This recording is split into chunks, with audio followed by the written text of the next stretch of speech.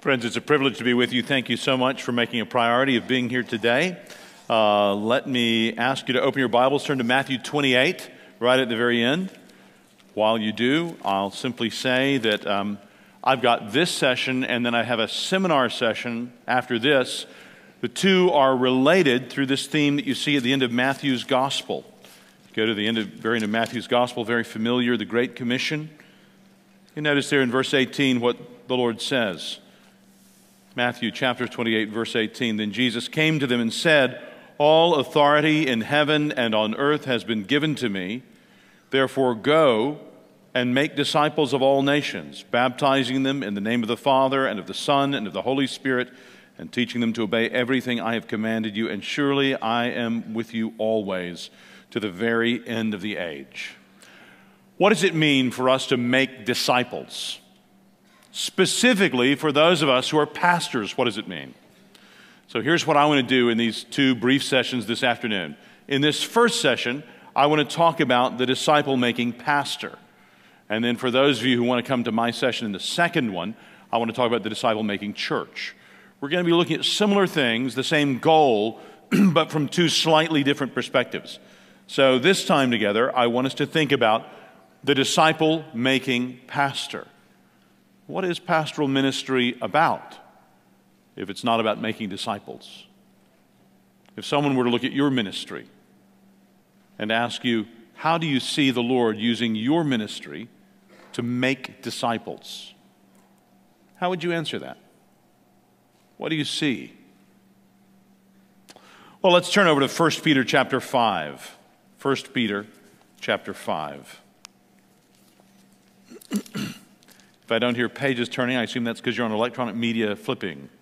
But just however you get there, go over to 1 Peter chapter 5. Peter writes, chapter 5. To the elders among you, I appeal as a fellow elder, a witness of Christ's sufferings, and one who also will share in the glory to be revealed. Be shepherds of God's flock that is under your care, serving as overseers, not because you must, but because you are willing, as God wants you to be, not greedy for money, but eager to serve, not lording it over those entrusted to you, but being examples to the flock. and when the chief shepherd appears, you will receive the crown of glory that will never fade away. Now, many of you have read this passage, no doubt. If you care enough about being a pastor to, to come to Minneapolis in February, I assume it's uh, well within your ability to have opened the Word. If you're a pastor, you've meditated on this passage. It's a precious passage to us. I trust you've studied it and meditated on it. As we do, I think we understand more of what it means to be a pastor. Uh, we feel the weight of it. We see more of how to do it. These are the kinds of things that interest us in this session this afternoon. Now, the subject of the ministry, I think, should interest any Christian. Anything that gives us examples of how to follow our Lord Jesus Christ, and pastors we see are supposed to be examples. Anything helps us if we're Christians. And if we're really Christians, we want to follow Christ and we're anxious to get anything that will help us do that.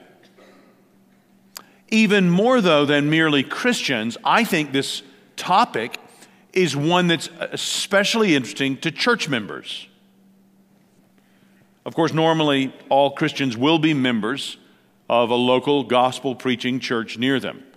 Uh, they will meet together regularly with those brothers and sisters for edification and encouragement, but we know today uh, that some Christians have been poorly taught on this. They don't know that they're to do that, uh, though something in them, I think, tells them of that need. Others have knowingly, sinfully neglected it. But normally, I think for the most part, we can assume that Christians know that they're to be church members, and they are. And for church members, few topics could be more significant than what those who lead them are commanded by God's word to do for God's glory and for their own good. Now, of course, this passage is even of more interest, I think. Well, as Peter says, he addresses it there in verse 1 to the elders among you. To the elders among you. Now, since I'm speaking to a gathering of pastors, let me just say I, I note that's in the plural. that doesn't tell us anything about the plurality of elders in one local church. You look back in chapter 1, verse 1. So turn back to chapter 1, verse 1.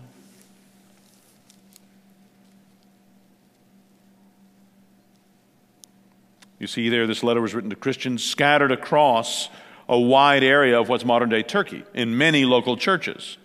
So, back in chapter 5 now, when he says to the elders among you, there could be one elder per assembly, per church. It, it doesn't establish that case. But we know from elsewhere in the New Testament, letters like James or uh, in Acts 20 or uh, in Titus chapter 1, that it was typical for churches to have a number of men serving as elders.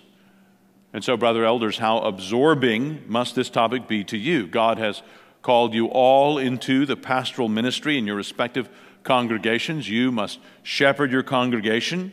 You all are charged by God to do this. These warnings here are yours. These charges are yours. These hopes are yours. But as much as they interest even this group of godly men who are the elders in a local church, they interest the one who normally brings God's word even more. Call it in a, a, church where there's only one elder or one pastor, the pastor or the preacher. If it's a, a multi staff church, call it the senior pastor or the pastor of preaching. But they particularly interest this one because this particularly falls on him. His leadership of the elders, by counsel and prayer, by training and time. His leadership of this congregation will have much to do with the prosperity that the eldership then knows, with the prosperity the church knows. Now, many elders have other jobs and they're elders. So in our church, we have, I think, 16 elders right now.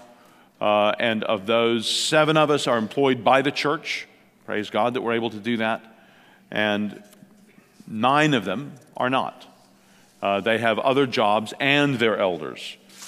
And among those who are employed by the church, I'm the one who was called when there was only one pastor. Uh, I was the only pastor they had. And so I'm what we would know in our neck of the woods as a senior pastor, which I know is not a biblical designation, but it's uh, prudential and it works. You understand what it means. It doesn't merely refer to the fact that I'm the oldest of the pastors, though I am, and that increases every year. But it, it, it refers to the fact that I have particular responsibilities that normally I'm the one who's going to be in the pulpit at the congregational assembly teaching God's word to God's people. Now, if that is you, if that describes you, if you're that person, would you just stand up? I just want to see in this room how many of those kind of people. So you're the one who's normally preaching in your church on Sunday. I don't mean always, but, but normally. Wow, that's a lot. All right, please be seated. Great. Thank you for being here. I'd love to just sit down and hear how it went yesterday. Uh, I'm just curious. How many of you thought yesterday it was one of the worst sermons you've ever preached? Stand up. I'm, I'm dead serious. I'm dead serious. Anybody feeling that? Yeah, brother, I feel your pain. I've, I've been there, a few, a few people. All right, Kevin, are you being serious or are you just joking around? All right, I'm sorry, brother. Um, how many of you think, oh, it was pretty normal? It's about what usually seems to happen when I preach. Stand up if that's you. All right, that's pretty interesting. That's most guys. All right, sit down. Now, all glory to God. It's no showboating on your part. If you think, man, the Lord really obviously blessed in an unusual way, would you please stand? Come on, it's not being unhumble. This is bringing glory to God. I'm just curious. Just stay standing for a second. So, guys, if you, you want to look around and see how maybe you can get, get encouragement from them, praise God. A few brothers said that. Kevin, what are you doing? You stood up. Say what? All right, he's making a theological point. It was the worst, but God bless. Well, that's so true. if we are the one who normally preaches in our church, we need to understand that we do have unique opportunities as we teach the word from week to week. What a, what a privilege. Uh, what a special burden the Lord gives us. I, I love those weekends where I don't preach. Uh, and I love those weekends where I preach. You know. Well, I want us to, in this time, consider some of the practical faithfulnesses that, that you, brother pastor, are especially called to as the pastor of your church. But before we do that, let's make sure we notice the most important thing in these few verses in 1 Peter 5. I wonder what you would say it is, looking through those few verses again, those first four verses. I think it's clearly there in verse 4. Peter writes of Jesus Christ as the chief shepherd. He is the senior pastor. He is the chief shepherd. He is the good shepherd. You can tell because good leaders, the good shepherd, lays down his life for his sheep, as we read in John 10. So, brothers, if you've come into this seminar, if you've come to this conference this week weary, take hope from verse 4. Let that be your hopeful verse. When the chief shepherd appears, you will receive the crown of glory that will never fade away. Praise God. So let's just start being encouraged right there. Right? Praise God. The ancient Greeks saw pelicans beating its breast with its beak, and they thought that the bird was plucking its breast to feed its young with its own blood.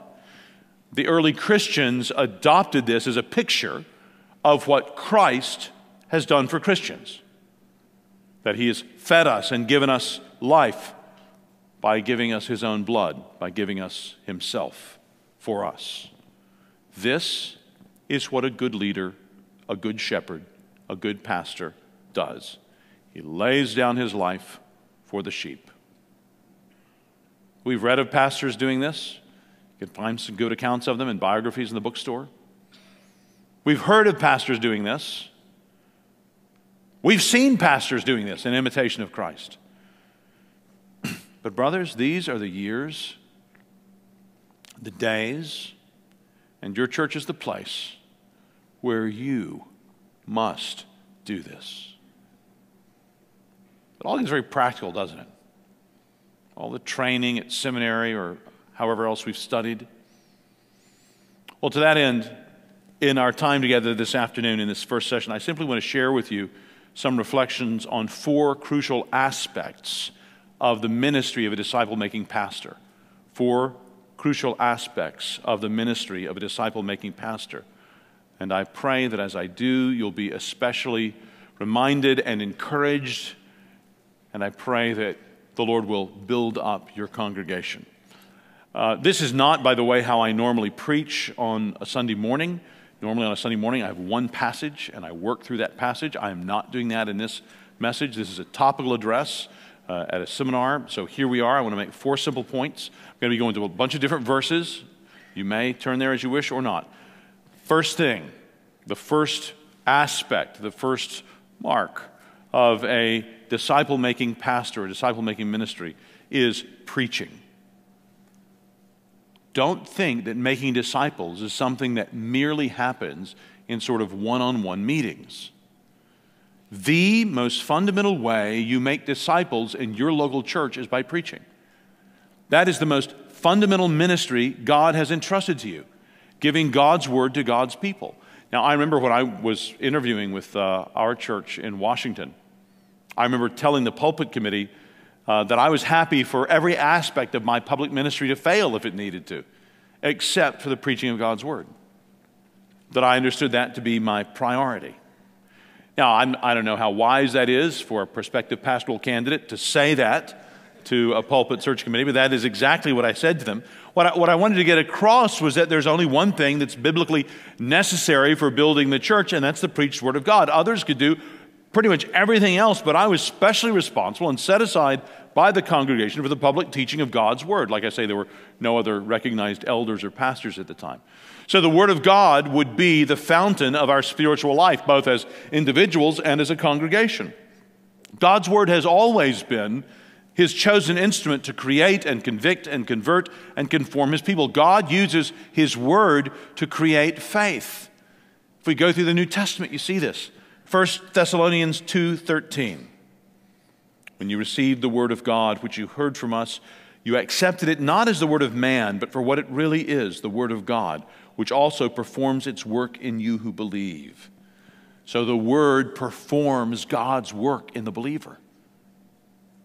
Or Hebrews 4:12, for the word of God is living and active and sharper than any two-edged sword, and piercing as far as the division of soul and spirit of both joints and marrow, and able to judge the thoughts and intentions of the heart. God's word gives us new birth. James advises in James 1:21, in humility receive the word implanted which is able to save your souls. The word saves us. Peter also claims regenerating power for God's word in chapter 1, verse 23. For you have been born again, not of seed which is perishable, but imperishable. That is, through the living and enduring word of God. And this is the word which was preached to you. So there is creating, conforming, life giving power in God's word. The gospel is God's way of giving life to dead sinners and to dead churches. Friends, many of us are called to go into churches that are orthodox on paper and dead in practice. And, well, I hope that amen meant not that you want that to be the case, but that, but you're saying yes, too. I, I can witness that that has been my experience, or I, I know of other poor guys who've been in that experience. Well, the gospel is God's way of doing this. He doesn't have another way. If you've come to this seminar or if you've come to this conference this week hoping to find a, a, breakout session that will tell you some other way to do it, I'm telling you, if a breakout session tells you another way to do it, they're wrong. This is what God does. He creates His people by His Word. If you want to work for renewed life and health and holiness in your church, then you must work according to God's revealed mode of operation. Otherwise, you risk running in vain. And you don't want to do that.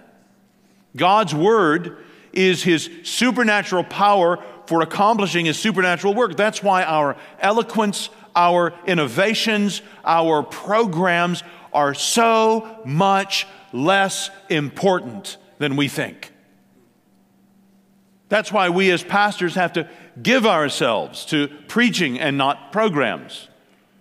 That's why we need to be teaching our congregations to value God's word over programs. Preaching the content and intent of God's word is what God used to call his people and build his church in the past. It's what God uses today to build his church. So, preaching his word, his gospel, is primary. Now, one thing very practically that means for pastors is if you want to know what the heart of your public ministry is, it's your private study. If you have members of your church who make you feel guilty for not being out and doing pastoral ministry more, you know, pastoral me- ministry in their mind is meeting with Bill or meeting with Tom, and I'm in favor of meeting with Bill and Tom. But I just want them to understand clearly the heart of your pastoral ministry is what you're doing when you are giving yourself to God's word in private, to poring over it and studying it, praying for God's Spirit to give you eyes to see, praying for the people that He has called you to preach His word to.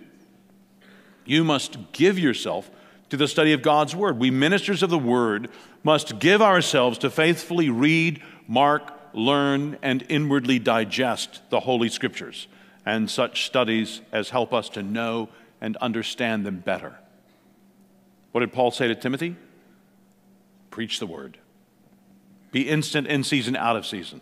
Reprove, rebuke, exhort with all long suffering endure hardship, do the work of an evangelist, fulfill your ministry. We must teach our congregations that this is our job description. They're not going to know it if we don't tell them that.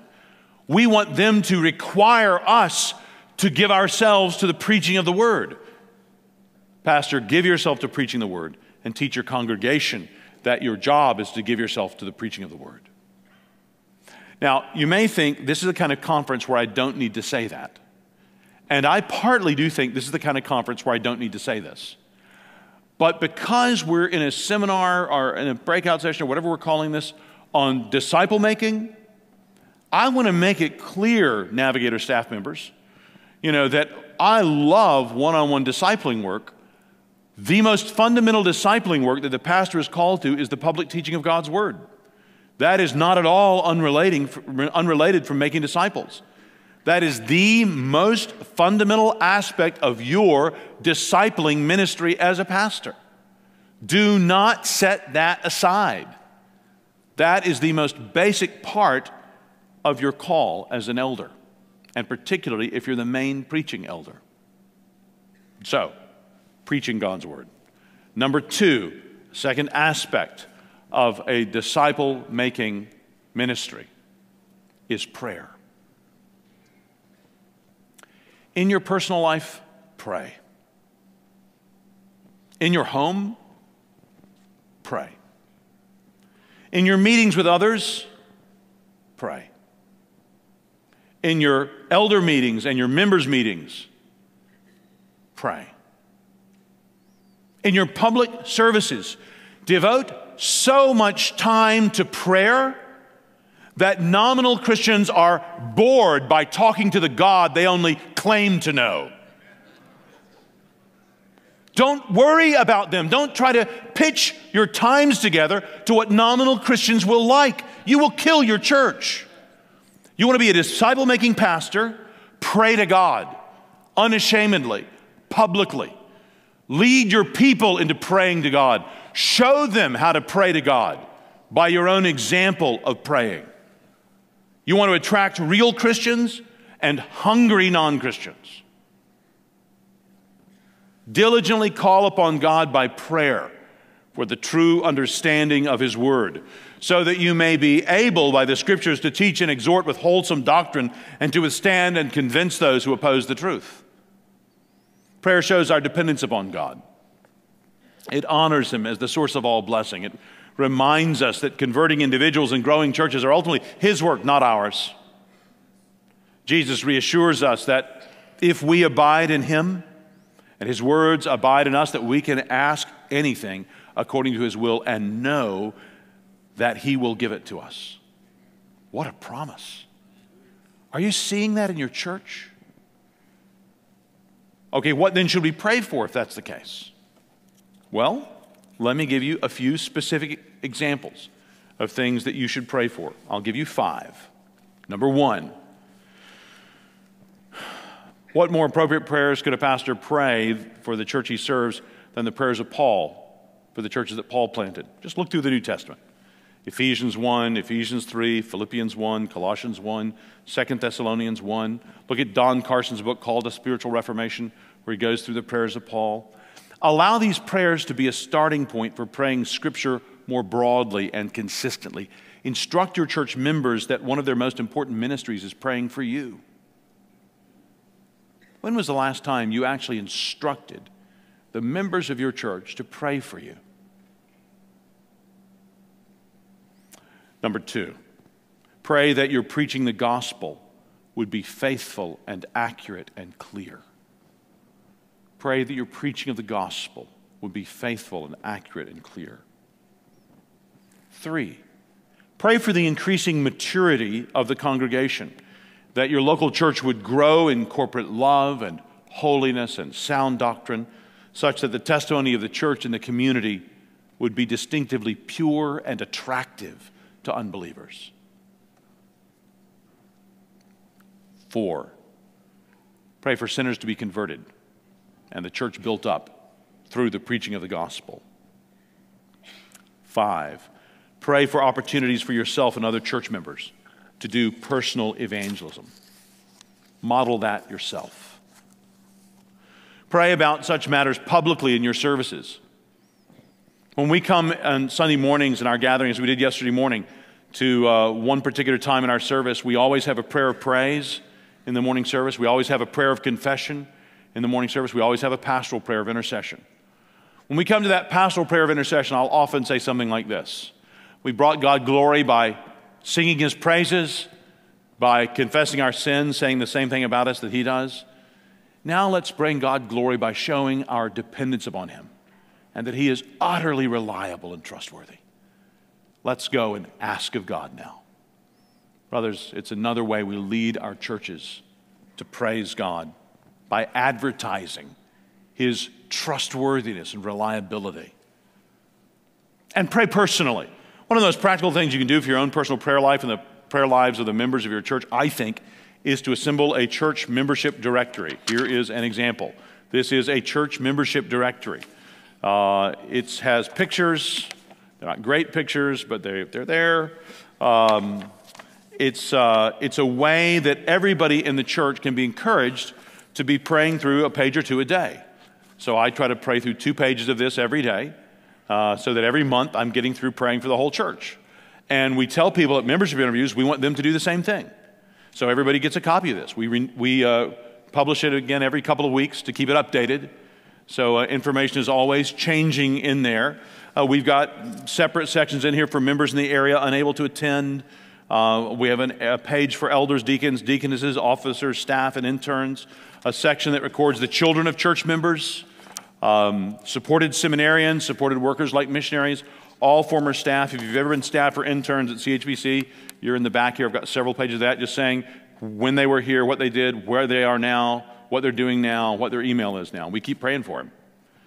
So, uh, this is a wonderful tool uh, to build your own church's prayer life. Model for your congregation faithfulness in praying through the directory in your own devotional times and publicly encourage them to make praying through the directory a daily habit. Now, your prayers for your people don't have to be long, just biblical. So I'll often begin an elders meeting by reading the passage of scripture that's going to be preached on this coming Lord's Day. And then we'll go around, let's say it's an elders meeting or a staff meeting, we'll go around and everybody will praise God for something they've just seen in that passage of scripture. And then we'll go through a couple of pages in the directory, each one just taking a different one in turn, praying something for them out of the passage of scripture. The prayers are normally short, one or two sentences. Just keep going around. It models that for them. Perhaps choose one or two phrases of scripture in your own personal time to pray for people if you don't know them very well. Uh, get to know the sheep in your flock as well as you can. If you don't know them, simply pray for what you're learning in your own Bible reading. But I think modeling this kind of prayer for others and encouraging the congregation to join you can be a powerful influence for making disciples in the local church. I think it, encourages selflessness in people's individual prayer lives, so they're not just praying about their own families, their own jobs, their own evangelism, they're praying about other people. I think one of the most important benefits is that it helps to cultivate a kind of corporate culture of prayer that will increasingly characterize your church as people are faithful to pray. But, brother pastor, in order for that to happen, you have to give yourself to prayer. So, you want to make disciples as a pastor? Preach God's word, pray. Number three, this is the one you would expect personal discipling relationships. Have personal discipling relationships. I think one of the most biblical and valuable uses of your time as a pastor, and, and I realize that a pastor's time is limited. We're not here at any one church for that long, even if we're here for decades unless the Lord comes back. We're just getting this church ready for the next guy. You know, this is not going to be a, a monument to, to you and your ministry forever. You know, it never really was, but you won't even be able to live under that illusion for long. Because if you just wait till the next pastor gets there, uh, very soon, Lord willing, there'll be fresh blessing breaking out that is in no way dependent upon you. Hallelujah. Praise God. Could you imagine something better going on? than when the evil one would make you doubt, is this just because of me and gifts God's given me? No, what a joy it is to see the Lord blessing the ministry of others. Friends, that's what you get to see as you cultivate personal, discipling relationships in which you regularly meet with a few people one on one to do them good spiritually.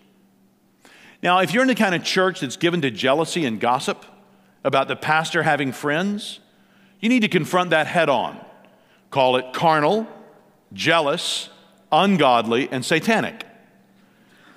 Tell them you're a human being and you're going to have friends or they can fire you. I'm not joking. I don't mean that as hyperbole. I really think we are responsible to teach our congregations that that is a good and godly thing and will be for their own benefit, even if they're not one of the immediate ones that you have time to befriend. Because what will happen through your discipling relationships, leaders will be built up in that congregation, and the whole congregation will know the blessings of an increasingly mature and diverse leadership. And you are the one with the privilege in getting to lead out in this, getting to help to, to build this. Pray against tendencies you see to jealousy or to gossip in this. And teach and encourage your fellow church members to join with you in this ministry. It's simple. And invite people after the Sunday service to, to call you to set up a lunch appointment. Those that expressed interest by calling and having lunch will often be open to getting together again. As you get to know them, You could suggest a book for the two of you to read together and discuss on a weekly or every other week or as often as you can basis. And this often opens up other areas of the person's life for conversation and encouragement and correction and accountability and prayer. So, whether or not you ever tell the person that you're discipling them is immaterial. That does not matter.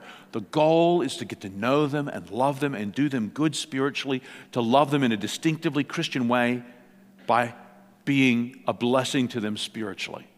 So initiate personal care and concern for others and pray God would use you to help establish a culture of that in your church.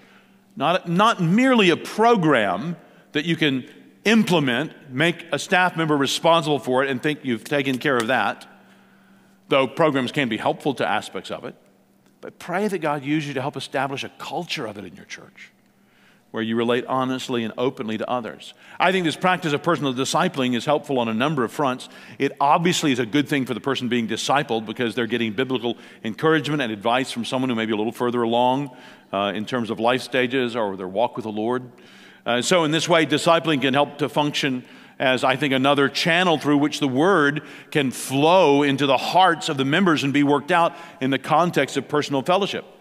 It's good for the one who disciples as well, whether you're the main pastor or a, a non staff elder or some other church member, because it encourages you to think about discipling not as something that only super Christians do, but something that if you've been a Christian for two weeks, you've got something to say to the person who just came to Christ yesterday. It's part and parcel of your own discipleship to help other people follow Christ. I've had people tell me sometimes, you know, that that's not really for them. That's a, a kind of special ministry that they don't really have. I just want to say, help me understand what you mean that you're following Christ if you're not helping other people to follow Christ. I'm not saying I know you're not a Christian. I'm just saying I, I want to understand what it means to follow Jesus if you're not helping others follow Jesus. Hard bake that into your definition of being a Christian as you preach and teach. Now, to be clear, you're not calling everybody to be an extrovert. Different people have different emotional budgets the Lord has given us. Just spend what you've got. Encourage people to give themselves as the Lord gives them life circumstances and opportunity to be able to be a blessing to others like that. Members need to know that spiritual maturity is not simply about their own private, quiet times, but about their love for other believers and their concrete expressions of that love. I think a healthy byproduct of non staff members discipling other members is that it promotes this culture of, of growing, distinctively Christian community in which people are loving one another, not simply as the world loves, but as followers of Christ who are together seeking to understand and live out the implications of what Jesus commanded his disciples there in Matthew 28 that we are to live our lives in love for God and others. These kinds of relationships help both spiritual and numerical growth of a church. Before I, I leave this part of it, Brother Pastor, another healthy byproduct of your own personal discipling is that other members of your church, I think eh, you'll find it helps to break down defensive resistance to your pastoral leadership.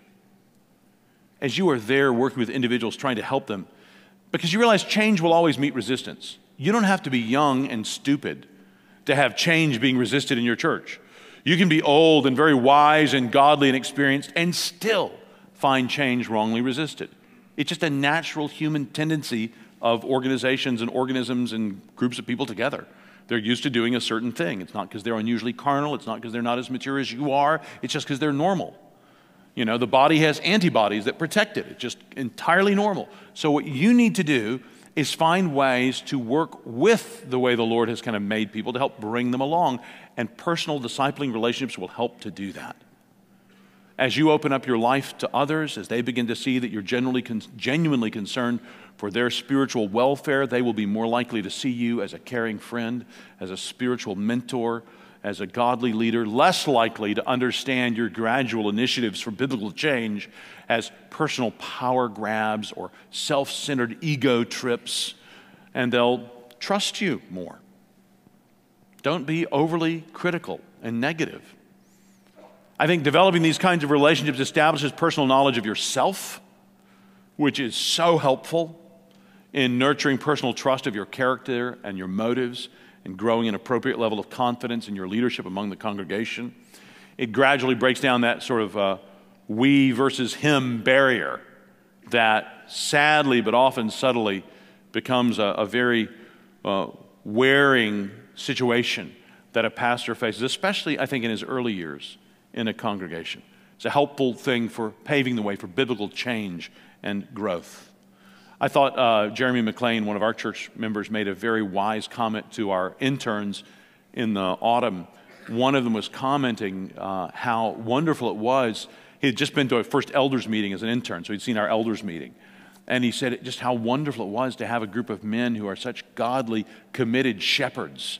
How well they knew the congregation, were caring for them, obviously, by the conversation and the prayers and, and all this. One of the interns was saying that.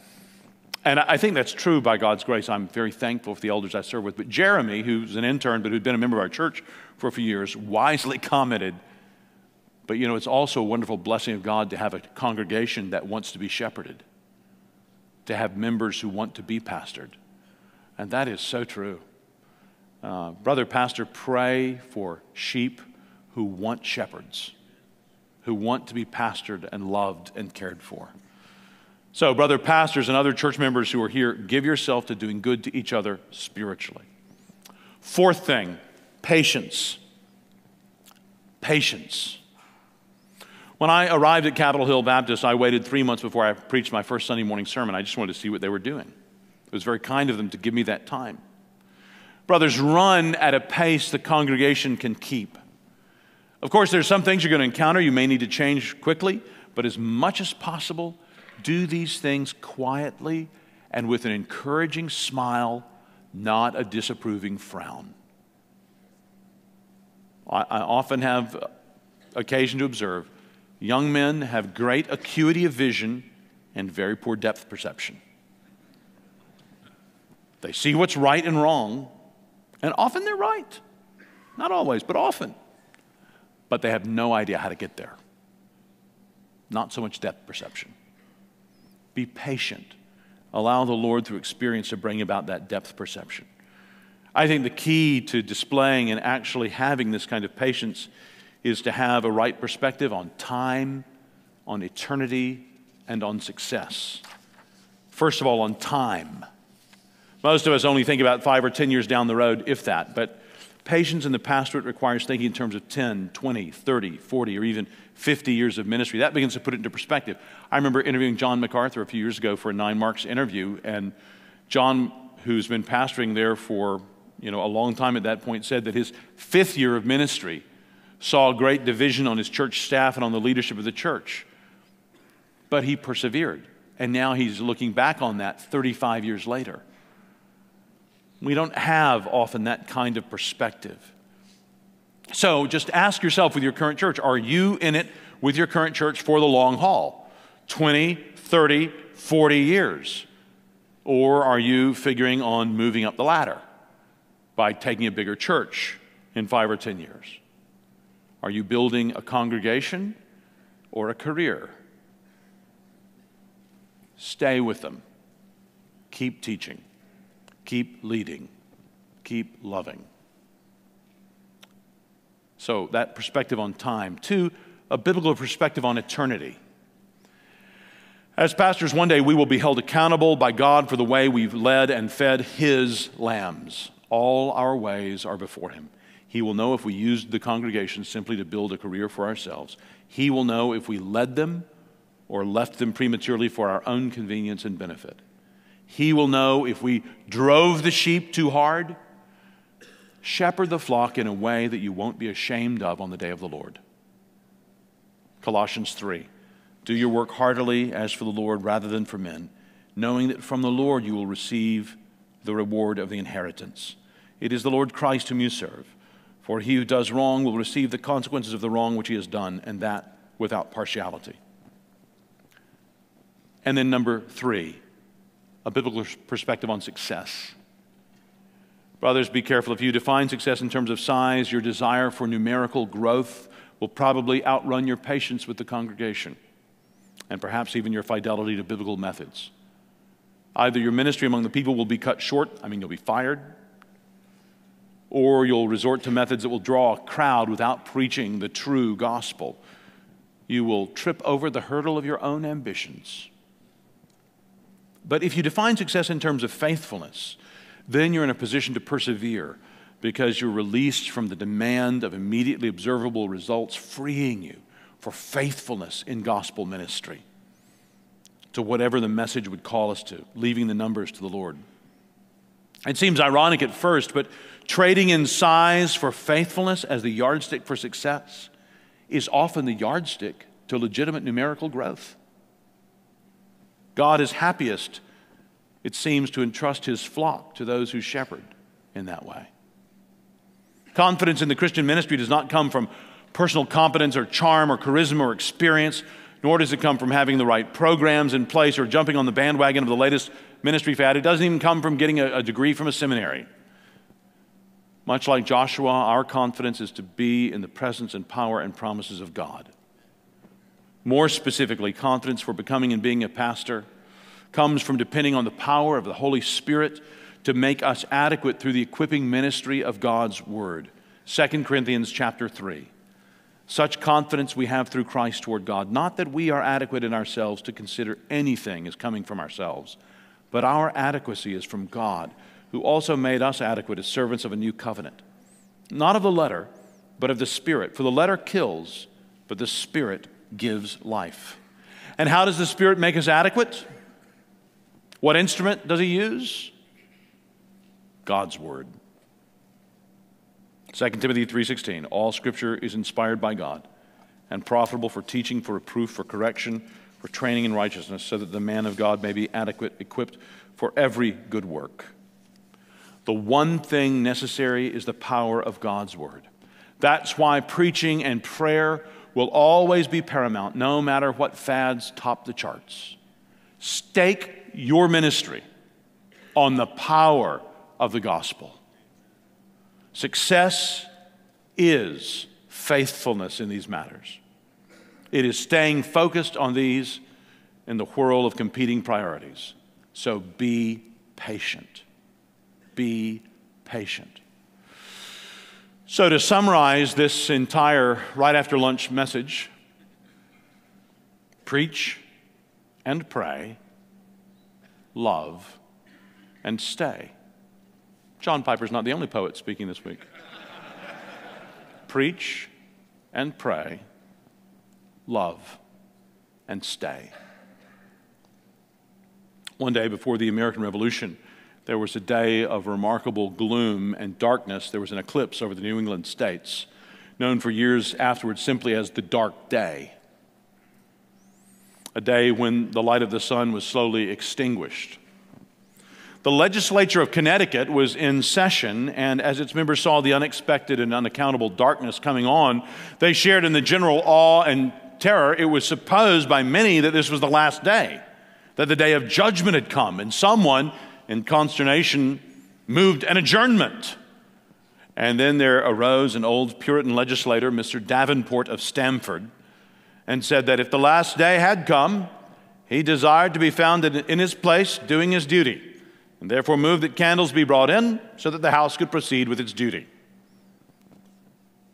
I think there was a quietness in that man's mind the quietness of heavenly wisdom and inflexible willingness to obey present duty. My pastor friend, you and I should do our duty in all things like this old Puritan. We can't do more. We should never wish to do less. The ministry has private discouragements and public discouragements aplenty. And God's kindness to it often has compensating blessings in this life. But we will never be faithful ministers in anything other than appearance if we only consider the ministry in terms of this life. And so I want to conclude with that quotation that I use almost every time I'm speaking to pastors, and that I hope some of you may be able to recite. It's of John Brown in a letter of paternal counsels to one of his pupils, newly ordained over a small congregation. And I quote I know the vanity of your heart, and that you will feel mortified that your congregation is very small in comparison with those of your brethren around you. But assure yourself on the word of an old man that when you come to give an account of them to the Lord Christ at his judgment seat, you will think you have had enough. Brothers, we need to remember what momentous work we're about. And that one day these clouds will be rolled back like a scroll. Live and minister in light of that day. Let me lead us in prayer. Let's pray.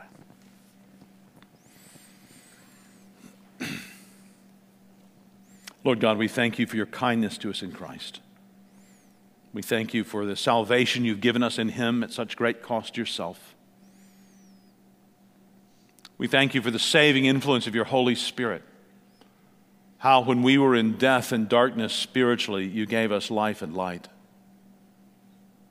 And Lord, that you would now add to that the blessing of calling us to be heralds of your gospel, to be preachers of your word to your people to be under shepherds of the flock for which you have given the life of your only Son.